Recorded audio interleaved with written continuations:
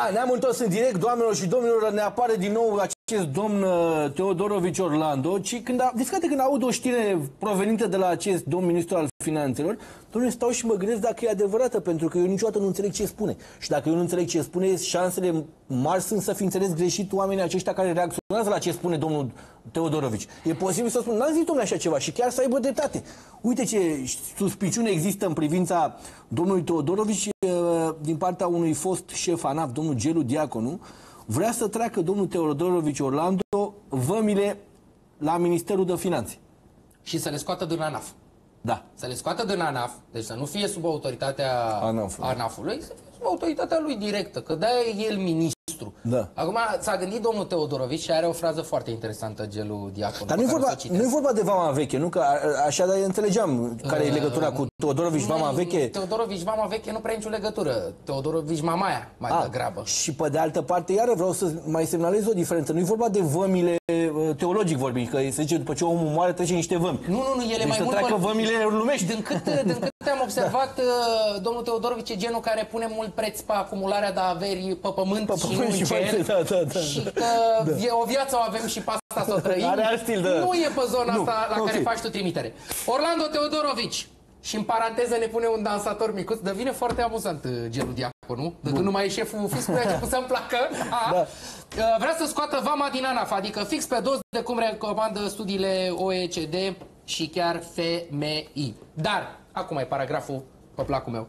Ministrul de Finanțe a României este un băiețel prins într-un corp de adulți și se poartă ca atare. Țâfnos, arogant, grandoman, cu proiecte revoluționare, în ghilimele, incoerent, narcisist. Afecțiunea în sine, sindromul Peter Pan se numește, nu este gravă și se poate rezolva cu un psihoterapeut. Problema mare este că, până atunci, va afecta grav la propriu sistemul finanțelor publice. Îi spunem bună seara domnului Gelu Diaconu. Bună seara! Bună seara, domnul Buzoiană, bună seara, domnul Zanfir. Văd că le-ați și diagnosticat pe domnul Teodorovici, a spus și un diagnostic. Am vrut să fac o postare ceva mai amuzantă, Da. pentru că problemele de natură fiscală sunt mai greu digerabile și atunci, ca să penetreze, le facem mai Ați și reușit. De Pute- această dată chiar ați reușit. Putem să-l numim Vamaiotul pe domnul Teodorovici, plecând de la ideea că vrea să-și treacă vămile în subordine, să le dețină el, să le... Știți, revenind într-un registru serios, Da. uh, pentru mine este ușor descalificant să intru într-o dispută pe o temă profesională cu domnul Teodorovici, pentru că dânsul astăzi pur și simplu a dezinformat sau, uh, ca să o spunem într-un limbaj mai direct, a, a mințit cu o mare dezvoltură. Dânsul ne spunea astăzi despre uh, aplicarea unor principii europene, despre independența vămii, despre protejarea firmelor românești. Știți, parcă era un activist care vorbea la un auditoriu adus uh, cu autobuzele la un meeting PSD. Mai sunt și oameni în țara asta care pricep ceva din uh, chestiune de administrare fiscală și nu putem sta uh, neputincioși în fața unor asemenea baliverne vehiculate în spațiu public. De aceea, după cum ați spus și dumneavoastră, uh, eu i-am recomandat o lectură obligatorie, minim necesară unui om care deține o astfel de funcții. Uh, Cu toții știm, sau mare parte din oamenii instruiți știu că uh, Organizația de Cooperare și Dezvoltare Economică cuprinde 34 de state, cele cu economiile uh, cele mai dezvoltate, cu economii funcționale, cu democrații consolidate. Din păcate, România încă nu face parte e- din nu e de acest acolo, grup da. de state. Nu e genul nostru de grup de state în care am face parte, dar care e logica din spatele? Mă rog, poate nu e niciun fel de logică în spatele domnului Teodorovici, dar trebuie să fie ceva care îl motivează să ia genul ăsta de decizii considerate de unii stupide, considerate de alții mai degrabă narcisiste. Uh, Nu există decât uh, dorința de a controla un sistem care a cărui loc este aproape prin definiție în structura administrării fiscale. Și eu încercam prin recomandarea acestei lecturi să uh, arăt că în toate statele cele dezvoltate, plus încă 21 de state emergente, cu singurile două excepții astăzi, Vama face parte din administrare fiscală. Știți, m-am uitat și în Rusia, că domnul Teodorovici mai excursionează pe acolo. Are, are drum pe acolo din când în când. Pe acolo, până Cuba. Și prin Cuba, ei, uh, nici măcar în Rusia, nici măcar în Rusia, uh, Vama nu este în subordinea Ministrului de Finanțe, în subordinea primului ministru, așa că putem vorbi de modelul orlandist de organizare fiscală. Corect, are practic și-a pus Revenind în regimul da. ușor umoristic. Da, el, el a trecut și prin Rusia, adică nu întâmplător ați menționat bănuiesc acest spațiu. Da, poate se așteaptă să devină premier și domnul Teodorovici și na, se gândea că ar fi fost uh, strigător la cer să o treacă în subordinea premierului, ieri urmând să devină premier. Poate i-a fost frică de modelul Adrian Năstase, care, care își pregătise un mandat de 5 ani că știa că va deveni președinte României, dar știa prost Domnul Teodorovici, care se așteaptă să devină premierul României, zice, domnule, să nu-mi trimit vama acolo în subordinea da. premierului. O las la un ministru de finanțe, că văd eu pe cine pun în uh, direcția mea subordine. Bun, acum așteptăm cum se vor desfășura lucrurile, că pare totuși domnul Teodorovici de capul domniei sale, adică n-am avut vreodată senzația că ceva ce a spus a întâmpinat niște dificultăți, adică de obicei ce spune se și întâmplă. Nu prea blochează nimeni. Eu v-aș contrazice și v-aș contrazice și aș putea prezenta public un, un inventar al uh, declarațiilor așa uh, bombastice că va face și va trece, de fapt deloc materializate. Marea reorganizare a NAF-ului s-a dovedit a fi neconstituțională, uh, necitind, repet, ABC-ul administrării fiscale, cu siguranță și această inițiativă se va lovi de, de opoziția oamenilor care se pricep în domeniu.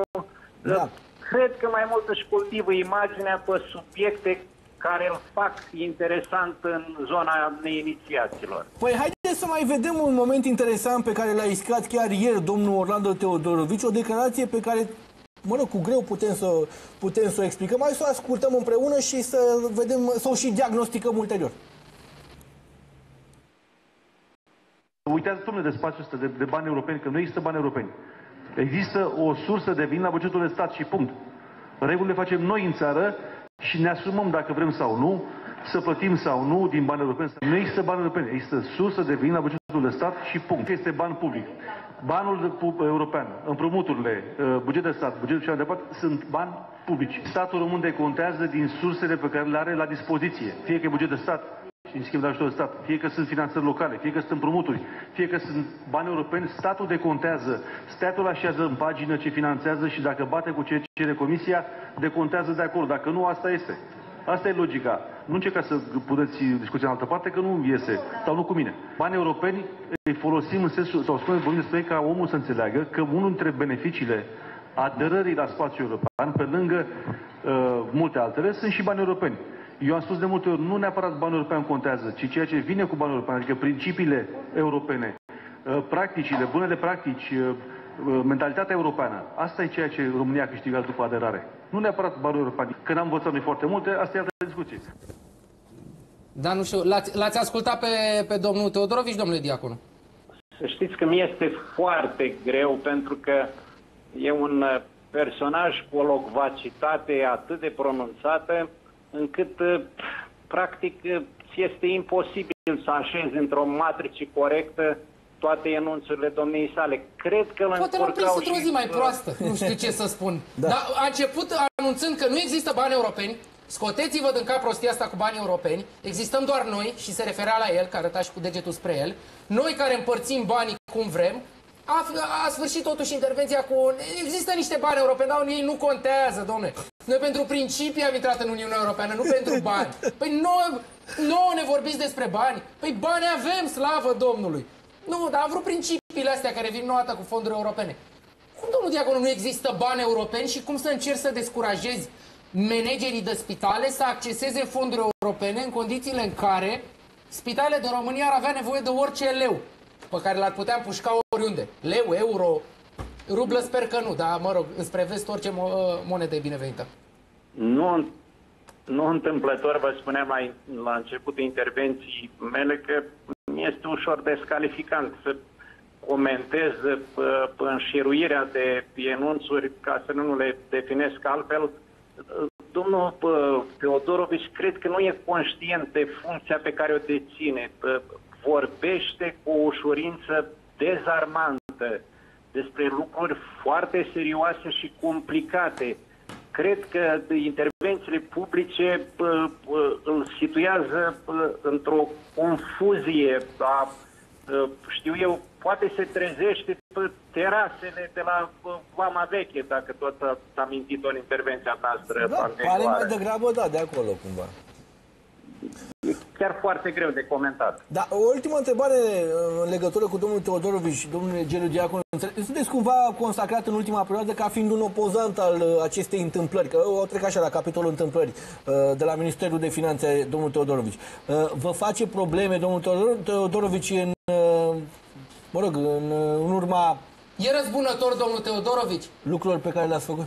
Uh, că l-ați criticat în spațiu public de știm bine cât timp. E Știți, eu l-am răzbunător? criticat, eu l-am criticat și pe domnul Mișa când era ministru de finanțe, numai că uh, domnului Mișa îi recunoșteam uh, o calități profesionale, era cunoscător, dânsul avea o altă agendă ascunsă.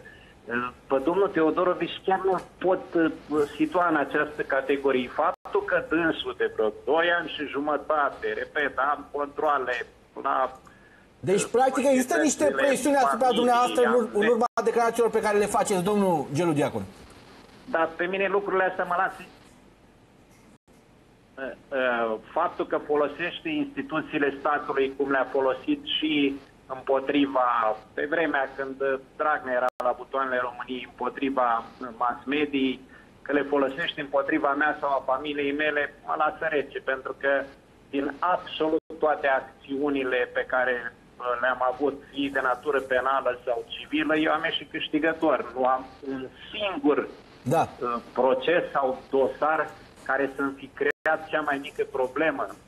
Așa că ce face dânsul? Da, e domnul o Diaconu, economie da. de resurse publice. Domnule Diaconu, pe de altă parte, morala e următoarea. Dacă vă atacați și pe dumneavoastră care sunteți fostul șef al fiscului, că ați ieșit dumneavoastră învingător, mă rog, felicitări. Dar asta înseamnă că oricine poate fi o țintă pentru Ministerul de Finanțe în momentul de față, în condițiile în care oricum noi am discutat de-a lungul timpului despre o serie de... de de-a lungul timpului, în ultimele luni, cât a fost uh, tipa aia blondă, Da. uh, Doamna șefa fiscului. Triculescu. Mă rog, te ambiționezi să reții nume inutile, care trimitea decizii de impunere pe sume fictive. Și deci dacă au fost în stare să trimită, nu știu, spunea uh, Florin Câțu la un moment dat, vorbea despre 2 milioane sau nu știu câte milioane de decizii de impunere. Oamenii ăștia n-au niciun fel de limită, problema e că nu toată lumea are resursele să se apere de ei. E adevărat, Da. e adevărat și de fapt aceasta este marea problemă pentru că astfel de indivizi treziți în funcție publică acționează discreționar. El are în jur niște consilieri informali. Sigur că nu pot eu face public chiar tot ce știu, pentru că eu nu fac public decât lucruri pe care sunt susținute cu documente. Dorința de a prelua vama, dorința de a uh, își plasa oamenii în antifraudă cu care uh, uh, uh, direcționează controle cu dedicație este evidentă. Uh, de foarte multe ori uh, cred că ar trebui ca la demersul meu să se ralieze mult mai multe persoane, așa încât uh, stăm încă și suportăm uh, uh, hachițele acestui individ. Da, mulțumim, domnule Gelu Diaconu. Urmărim în continuare pagina noastră de Facebook și O seară această bună. opoziție, da, a fost șef ANAF, domnul Gelu Diaconu, această opoziție pe care o faceți, pentru că, până la urmă, domnule, trebuie, trebuie într-un fel să mai punem lucrurile în matca lor. Noi râdem, glumim în incintă, dar lucru, în ceea ce îl privește pe domnul Teodorovici, noi trebuie să existe și un pic de rațiune în gesticulație. De, avem, pe, avem în spațiu public un domn din Vamă, așa îi se spune. Domnule, acum o să fie domnul Teodorovici Orlando Vamă în curând, adică cumva va pleca, dacă va pleca vreodată din funcția asta, va pleca cu această titulatură, pare. Hey, el crezi că vrea să vă muiască pe cineva sau de ce crezi că își trage vama înspre el? Pare că spre asta se îndreaptă. Pare că e o replică la ceea ce s-a, i s-a întâmplat Partidului Social Democrat în ultima vreme, nu? Acele plăcuțe. Adică te pe aștepți, care- te aștepți ca domnul Teodorovici, uh, după ce reușește să-și mute vama în subordine, să apară așa cu o pancartă la televizor să scrie vă muiesc? Pare genul care va ajunge acolo, da. Nu? Da. Pare genul de vă Va muitor. mai fi uh, domnul Teodorovici în viețile Da, noastre. să o sperăm că perioadă. nu foarte mult timp, domnule Da. Buzeanu.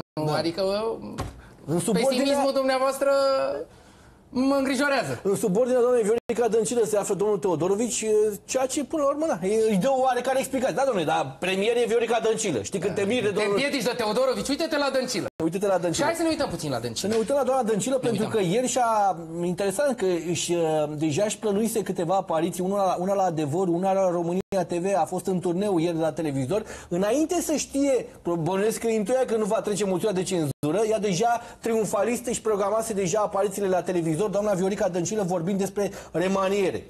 Ar fi trebuit să vorbească despre remaioze, nu știu, rema, adică pare mai în, în specific cu dânsei. Să o ascultăm, doamna Viorica Dăncilă. Ca să putem vorbi despre o remaniere, trebuie să vin cu o evaluare a îndeplinirii programului de guvernare pe fiecare minister în parte. Uh, Se împlinesc uh, șase luni din acest an, voi face o evaluare pe fiecare minister în parte. După ce vom face această evaluare, sunt convinsă că decizia o vom lua în cadrul uh, Comitetului Executiv Național. Voi asculta punctul de vedere al tuturor colegilor președinți de organizații, a celor din Biroul Permanent Național și bineînțeles că pe urmă vom vedea cum vom proceda în uh, perioada următoare. Ne-am axat mai puțin pe comunicare. Și cred că acesta a fost și unul din motivele pentru care am uh, înregistrat un uh, rezultat uh, nedorit la alegerile europarlamentare.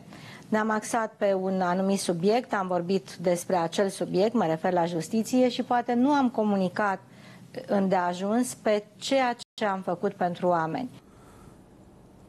De când îi știu uh, pe oamenii aceștia în funcție, de când era domnul Liviu Dragnea, de mai avea încă vreo 2 ani de, funcție, Libertate. de libertate și de, De libertate și de funcție. și de funcții, tot apare acest argument al comunicării. Probleme de Sigur- comunicare la Sigur că în PSD. momentul când o numești premier pe doamna Dăncilă, vei avea probleme de comunicare. Pe de altă parte, ce, doar, ce poți să comunici, domnule? Adică și faptul că n-ai comunicat, nu co- are cumva, este și în corelație cu faptul că n-ai făcut, ce să comunici, ce de comunicat, ce e așa de comunicat? Senzația s-a creat, domnule, ai mări pensiile și ai mări niște salarii. Ok, asta, bun, ce mai e de comunicat? Ai mărit niște pensii Niște și ai pensii mărit niște și salarii, niște salarii, bun. și ai avut grijă într-o perioadă de pace, într-o perioadă care nu e criză economică, și într-o perioadă în care nu prosperitate. ai de ce să nu mărești, să nu și n-ai de ai lucruri. avut grijă ca aceste creșteri de venituri să nu se simtă Da. prea mult, pentru că nu e așa. Sigur, există zone din sectorul bugetar, că acum poate ne zic unii buni, zice, dar du-te, domnule, că mie mi-a crescut cu 30% salariul. Da. Da, domnule, în Ok. anumite zone a crescut uh, salariul.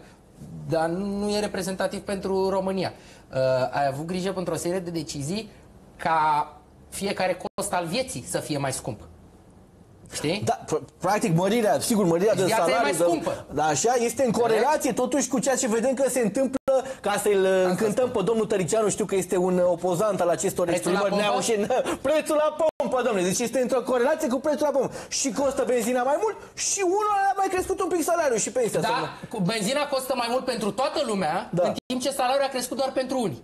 E, aici e ca o curiozitate. Asta, așa, doamna Dăncilă, ca să înțelegeți de ce nu vă aplaudă lumea când mergeți pe stradă. Și pe la acum dumneavoastră pe mai stradă. intervine apropo de remaniere o încurcătură cu domnul Tăricianu, căruia există șanse să da, îi se ce se mai remanieze. întâmplă, mă, cu îi Tărici? se remanieze acești miniștri și acum există o problemă oarecum iscată în coaliție, Tăricianu. pentru că domnul Tăricianu în primul rând ne-a anunțat în urma acelui rezultat penibil de la, de la alegeri că nu va mai candida la președinție. Domnule, zice, nu mai candidez. să Și mai- acum cu a 4%. rectificat, a nuanțat. Nu, nu, nu, a spus că nu mai candidez în perioada aceea, adică trebuie văzut.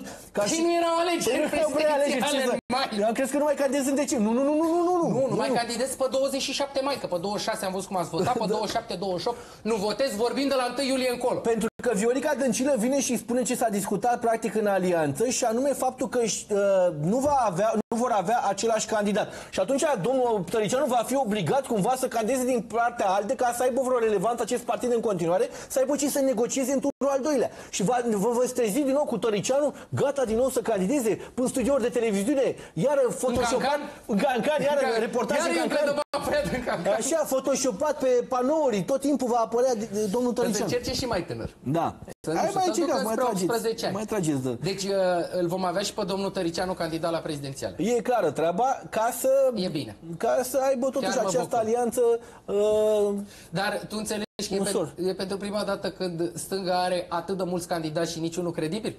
Deci candidează pe partea stângă, da? Pe partea stângă e așa. Pandele, Da. Ninel Pea, Da. Tăricianu, stai, nu pui pe dreapta pe Tăricianu, asta pe stânga, de că e mai de stânga nu, e de decât stânga, da. Teodorovici. Da. Așa.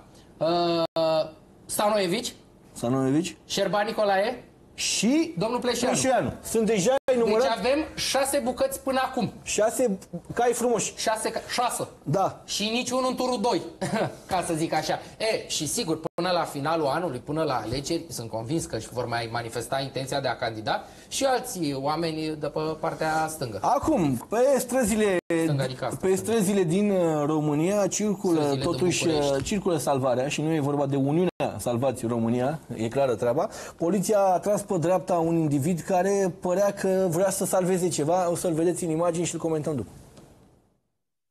și Superman acțiune.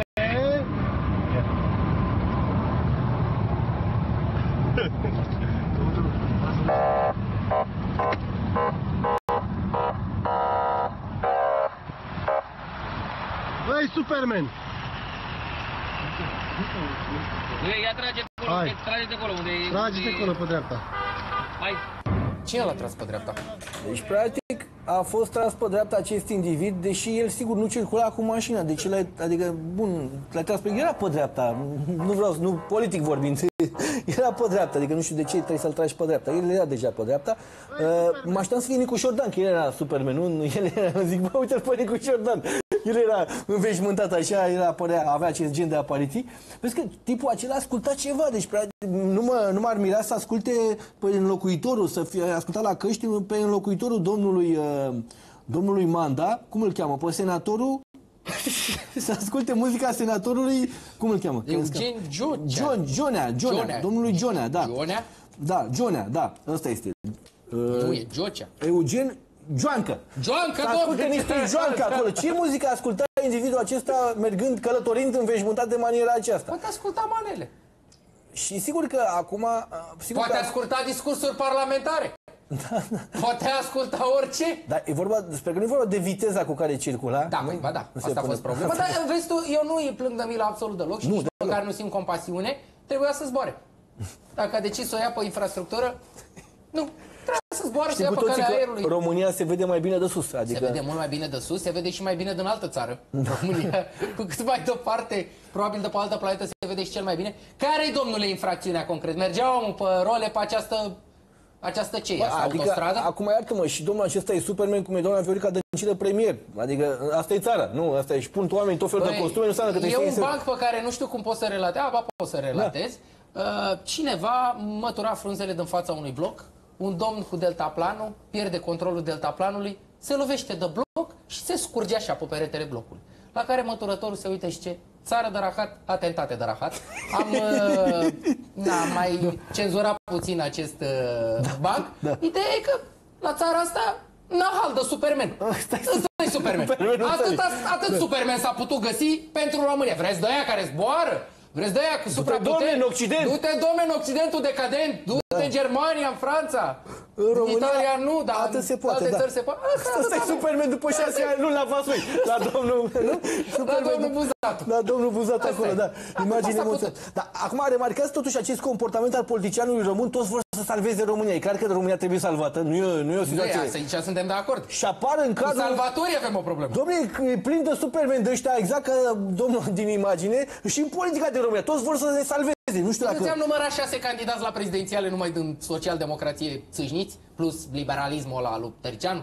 Adică și ori mai fi și alții care vor. Uite ce m-am enervat la următoarea informație. De ce Spuneți un te pic mai superi tu? De ce devreme. te consumi? Bă, te- că asta e situația, nu? Până la urmă, consumare. Asta e consumare, benzină scumpă. Dar uh, vezi tu, că România poate fi înțeleasă mai bine din afară, da? Poate fi... E ușor să... o- Dar mai ușor o înțelegi dacă ești, uh, treci granița, treci vama, ca să-i spunem domnului Teodorovici pe nume. Așa, problema este că din Ungaria România se vede foarte rău. Se vede foarte rău, ne-am făcut de râs a doua oară în câteva luni în Ungaria și e foarte important Îmi cer să... eu scuze.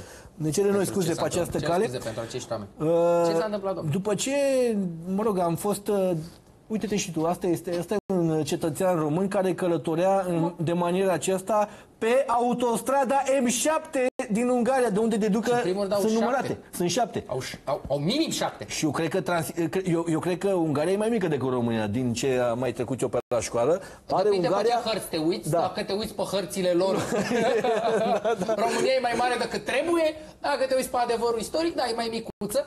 Mai micuță, păi de-aia și are atâtea autostrăzi. Deci... Că trebuie să le, ei le fac mai scurte. Mai scurte. E țară mică, autostrăzi mici și imediat le fac. Dacă noi suntem dita mai flaiustră Nămoșescu. Avem și noi două autostrăzi de bine, trei autostrăzi de bine de rău, dar sunt mari, Radule. Fotografia Sunt mari. a atras atenția, a atras atenția presei și a poliției din țara vecină, din Dar care Ungaria. este problema? Te A întreb pe împachetat în așa hal re, uh, remorca, Da. încât un om normal nu ar mai fi putut uh, pune nimic acolo. Normalitatea e relativă. Care e problema cu această mașină supraetajată?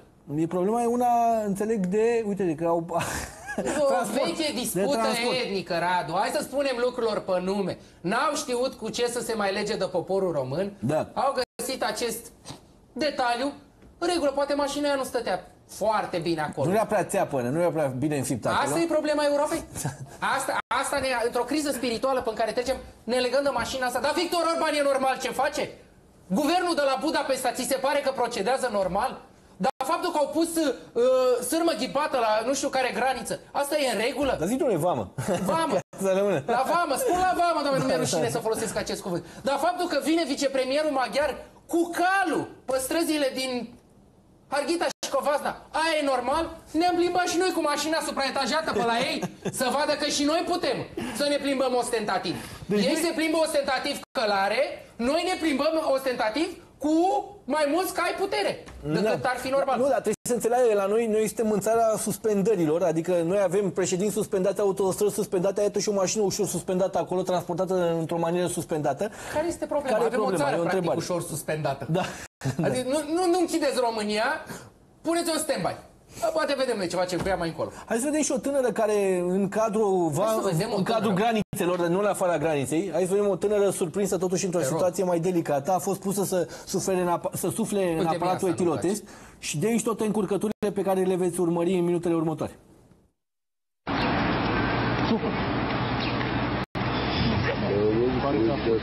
Gata, gata, gata. Super. Gata, gata, gata. Da, situație delicată în care e pusă poliția din România. Această tânără, vedeți cum... Uh, uh, comportamentul tineretului decadent. Răzvan. Tineretul din ziua de astăzi. Decadent. Pentru că asta fac tinerii din ziua de astăzi. Votează USR, se uită numai la filme străine, americane, în marea lor majoritate. Da. Și când îi oprește poliția, de cum procedează? Comportament. Pentru că ei nu au de unde să-și ia modele.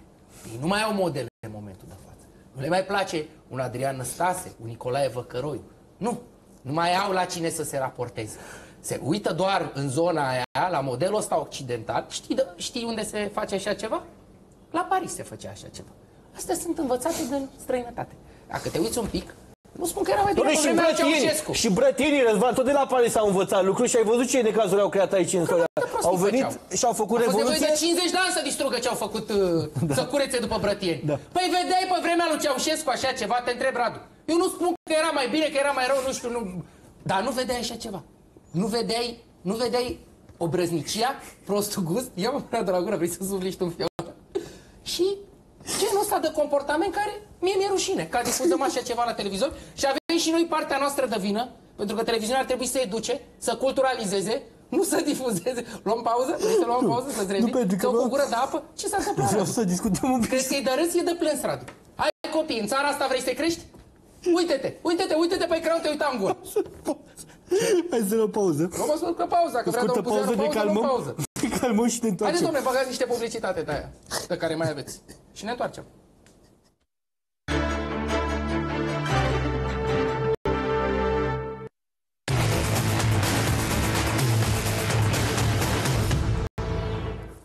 Gata, ne-am mai liniștit, suntem, uh, suntem alții. Doamnă, vorba domnului Caterina Andronescu care a spus, domnule, o să vedeți că după două luni voi elevii veți fi alții. A citiți ceva, explicat, domnule, da. Acum ne întoarcem la subiectele importante și mergem către Ministerul Apărării Naționale, de unde domnul Gabriel uh, Leș continuă lupta pe care a adus-o, vă aduceți aminte, domnul, uh, domnul Fifor. Care s-a bătut cu rușii. De fiecare dată când apărea în spațiu public, explica despre această, acest pericol în care ne aflăm, atac, atacatorii, prăduitorii, nu? Pârjolitorii ruși care Prăduitorii dau e termenul de Da, special. de special. Termenul militar e prăduitor. Așa care dau să vină în țara aceasta Deci aveai senzația cumva să crea impresia Că singurul motiv pentru care rușii nu ne invadează Este el, Mihai Fifor Eu, El părea cel care se opune rușilor Și acum de la domnul Fifor a preluat acest minister Domnul Gabriel Leș Și domnul Gabriel Leș a participat la o conferință internațională Black Sea and Balkan, Balkan Security, Security Forum. Forum, cum îl zic românii. Da.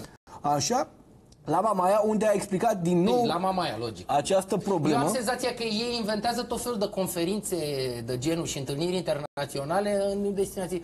Uh, Suntem aici la Mamaia, nu ca să ne distrăm cum ar crede multă lume, Uh, suntem aici și discutăm despre securitatea regională. Discutăm despre securitatea regională două, trei ore, pe care îmi fac... Haide să Nu s-ar băi, și noi întâlnit, de mergem exemplu, în- da, nu și s-ar în club. întâlni într-un oraș neutru, Dar nu? de ce nu se întâlnesc, domnule, la Tecuci? La Tecuci, da. De ce nu se face Black Sea and Balkan Security Forum la Mizil? Da. Trebuie să se facă în Mamaia. Să se facă, doamne, iartă-mă, la Eforie Sud. Bine, acum ar putea să fie cumva revendicat La Năvodari, dar- Black dar nu Sea. în Mamaia. Black Sea. Păi Domnule, ia apă Black și în Sea, partea ailaltă. Da, ia, Să facă mă la Tulcea. Da. De ce nu Faceți, fac la domnule, Tulcea? Faceți, domnule, în locuri mai puțin Să turistice. au făcut în Mamaia. Și acum, din cadrul acestei uh, stațiuni, cum stătea poate la plajă domnul Gabriele și a trimis o îngrijorare în legătură cu ceea ce urmează rușii să facă. Presu- zice domnul că evoluția securității în regiunea Mării Negre presupune îngrijorări serioase, cea mai mare îngrijorare fiind Rusia. Rusia are o atitudine agresivă constantă. Adică de pe vremea lui FIFOR.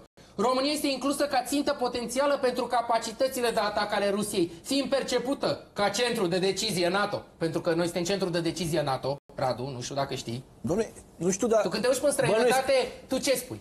Hagi, Nadia, Ilie Năstase, centru de decizie Centrul de NATO. decizie NATO, da. Astea sunt chestiunile pentru care suntem noi cunoscuți în plan internațional și e bine să fie așa. Și un pic Hagi.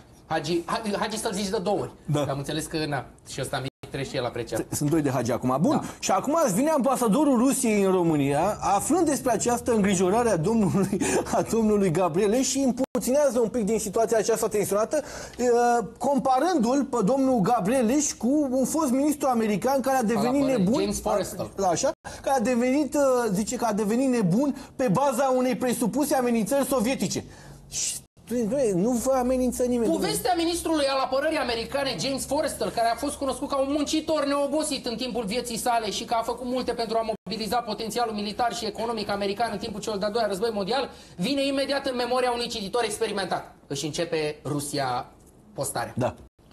El a părăsit voluntar viața în mai 1949. Mă gândeam Adică că... s-a sinucis? Cum adică? a părăsit voluntar viața? Metaforă. Metaforă. Nu metaforă, la propriu. La propriu. Aruncându-se pe fereastra unui spital de psihiatrie. iată. A zis, mă uit la domnul Leș și mi-amintesc de un ministru al apărării care s-a aruncat pe fereastra unui spital de psihiatrie.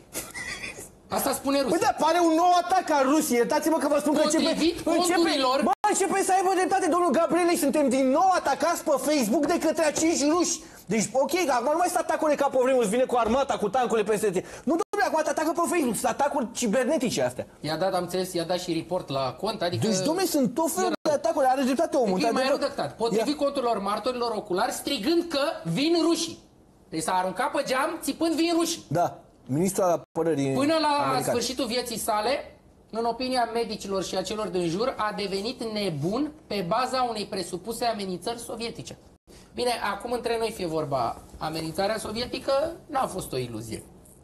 Niciodată. Niciodată. Înțeleg? Adică... Dar parcă totuși în aceste momente, domnule, nu Gabriel Leș ne, îi ține poruși departe. Nu Ministerul Apărării, nu I-a Armata ținut- Română. Fifor, da, Hai mă Fifor- să fim cinstice. Fifor, da.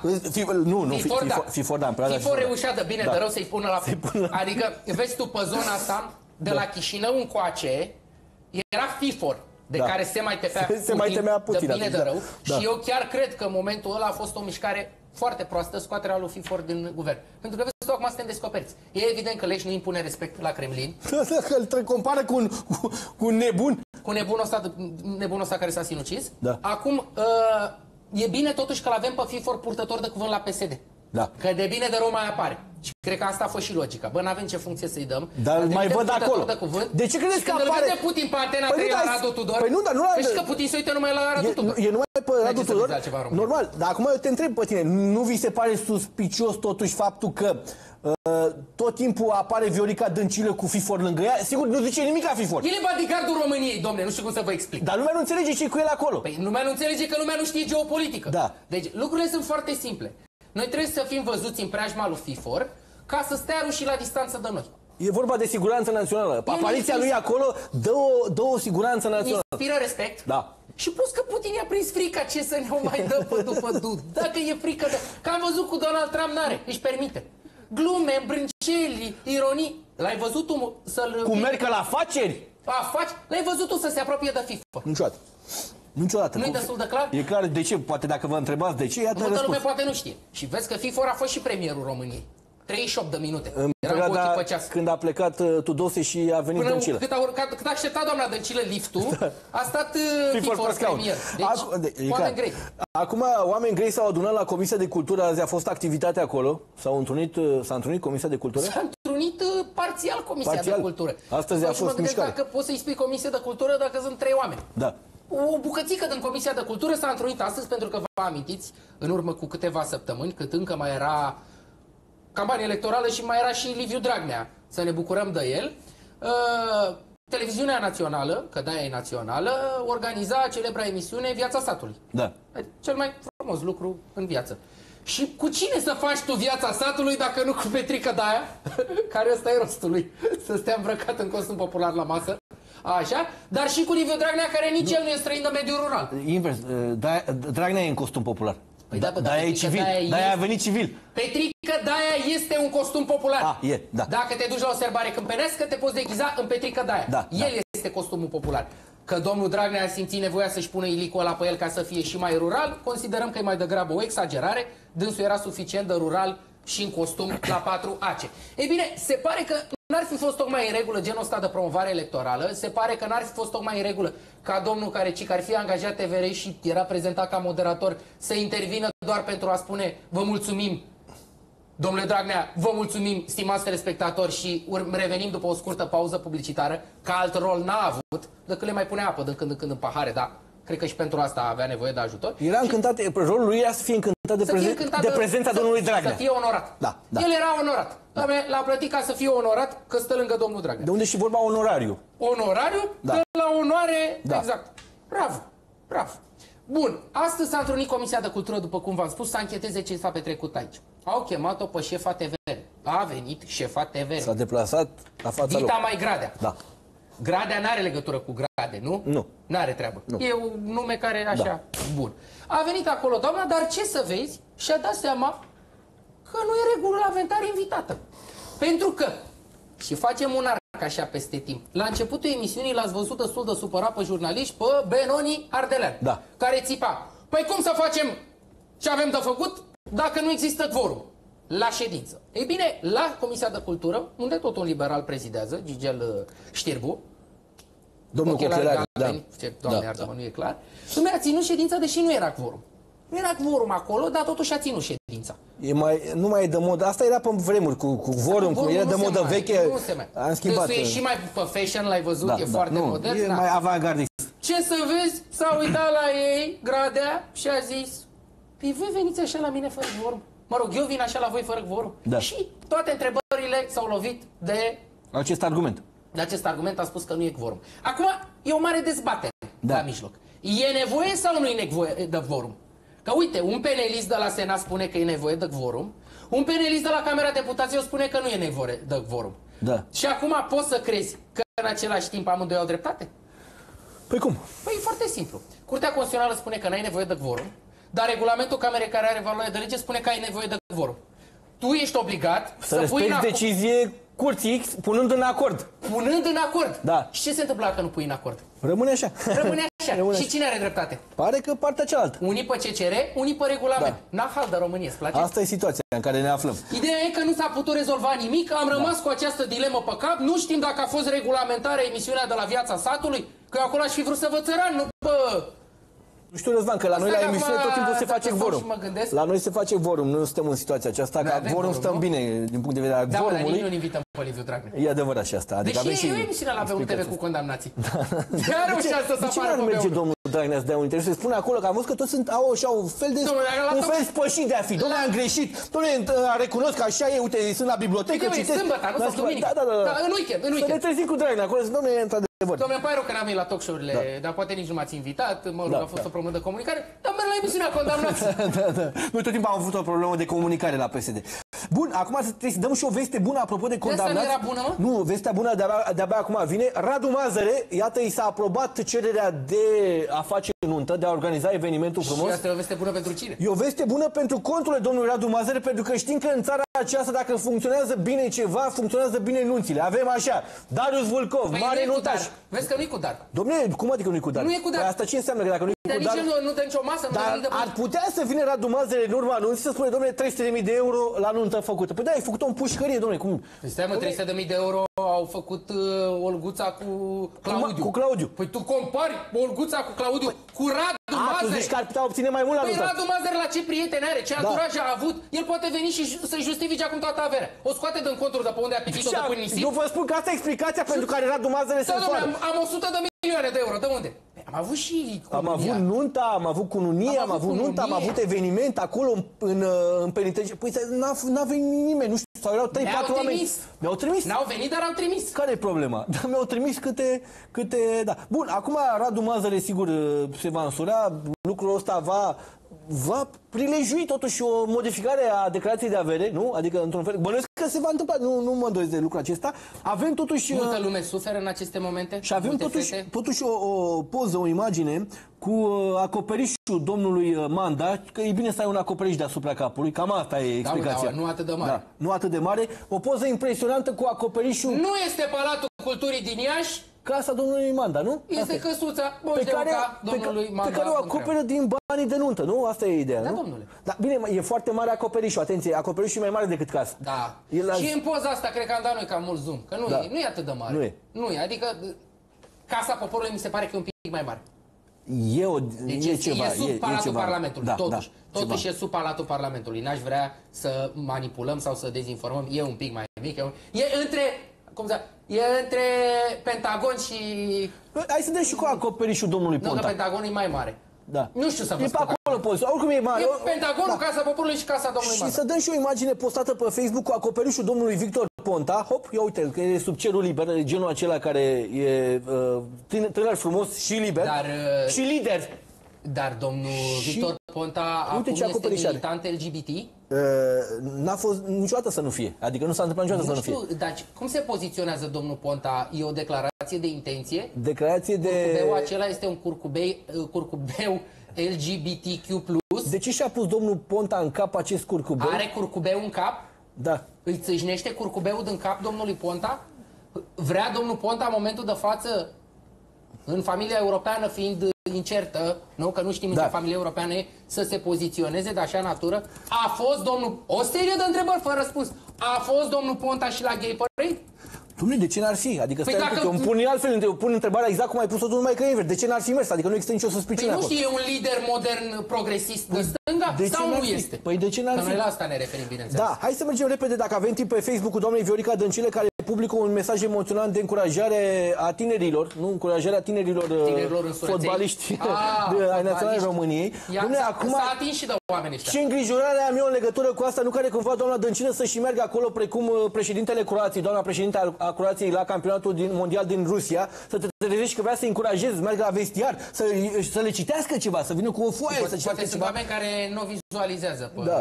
Ia uite. șefa Felicitări României uh, U21, ca să zicem așa, pentru victoria de astăzi. Tinerii noștri au câștigat cu 4 la 1, deci practic e și informativă, deci a, a doamna. reușit să țină și pasul cu scorul. Dragi sportivi, ne-ați făcut mândri, felicitări și succes în continuare, mândrețea de, de femeie. Da, hai să vedem imagini cu tinerii noștri câștigători uh, de ieri, niște imagini frumoase cu România când arată bine, când arătăm bine.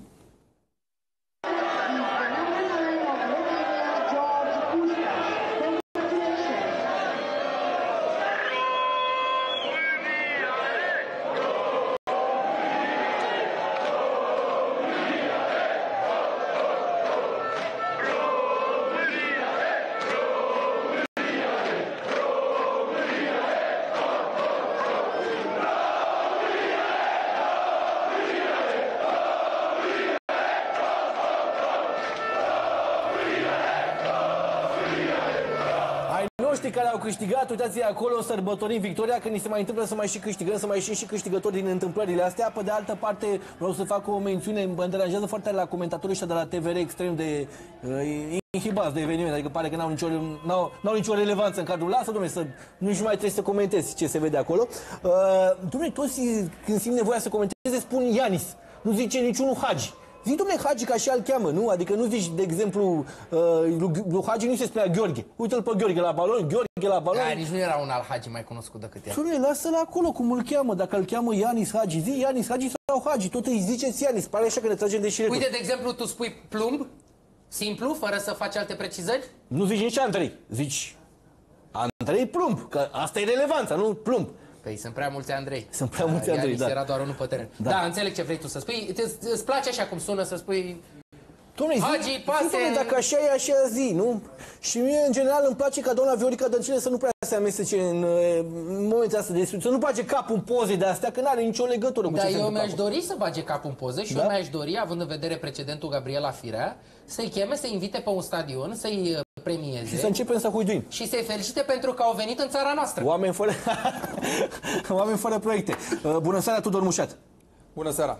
Așteptăm seara. uh, emisiunea ta de la ora 8. Ce se va întâmpla? Discutăm despre această contraofensivă a PSD, care vedem că și-a revenit destul de repede eh, din șocul eh, de după 26 mai. Ați văzut astăzi eh, la Senat, eh, n-au mai venit eh, senatorii ca să facă quorum și să treacă legea pensiilor. Au trântit-o practic, dând vina însă pe opoziție, în uh, cuvintele doamnei uh, Dăncilă, acel uh, personaj neconflictual, care a găsit de cuvință să găsească vinovatul pentru acest eșec în persoana uh, opoziției, în rândurile celor din opoziție. Asta ar fi unul la mână. Doi la mână, vedem că imediat ce președintele Claus Iohannis a cerut modificări în legislația electorală după ce s-a întâmplat în diaspora, în special uh, pe 26 mai, PSD vine și spune, dar nici nu era nevoie, pentru că noi deja am pregătit tot felul de modificări care să asigure eficientizarea uh, votului. Dar ce mi se pare cu adevărat important și ce este cel mai grav și merită semnalat și discutat, este ceea ce se poate numi deja o strategie de comunicare a PSD care duce în această direcție. Alegerile din 26 mai au fost fraudate, le-au fost furate celor din PSD ALDE. E ideea pe care a lansat-o Mihai Fifor în această seară, spunând că PSD ALDE vor să facă o comisie de anchetă pentru fraudarea acestor uh, alegeri. E ideea pe care a lansat-o Călim Popescu Tăricianu ieri la moțiune, spunând acum nu, vom, nu mai aveți liste suplimentare să fraudați uh, voturile. E ideea pe care a lansat-o Lia Olguța Vasilescu tot azi într-o postare pe Facebook în care se mira cu subînțeles cum de-a știut USR că o să Cristian aibă Zaidler, da, un semnala scor Facebook-ul exact lui atât Zaidler. de Deci- Deci aproape sunt vorbiți. de cel al PSD, deci e clar că totul a fost o conspirație ca PSD să piardă aceste alegeri. Pare să devină tema de comunicare predilectă a celor din PSD, pentru că a fost lansată la început prin uh, ironii în doi peri, Și pe după urmă aia prin postări pe Au Facebook. călcat accelerația. Marea minune Dar de nu poate ajunge chiar a fost temă o de discuție. conspirație. A fost o conspirație antipestedistă a poporului român. Da, am S-ar fost putea să o vedem, conspirație. uh, Poate so- s-au so- înțeles românii între ei câteva milioane să defavorizeze PSD-ul la vot. Și au venit în număr foarte mare. Întrebarea e ce face opoziția în aceste condiții, pentru că dacă PSD a preluat rolul de opoziție în acest moment și uh, se războiește pe tot felul de, de planuri, întrebarea e ce face opoziția, dacă nu e de datoria ei să demonteze toate aceste teme, ba chiar să o facă înainte de a răspunde atacurilor PSD. Discutăm Da. despre asta. Pare mai degrabă că n-aș băga în seamă totuși această, această nebunie. Să avem uh, o Românie bună în continuare. Ne revedem mâine de la ora 18. Toate cele bune!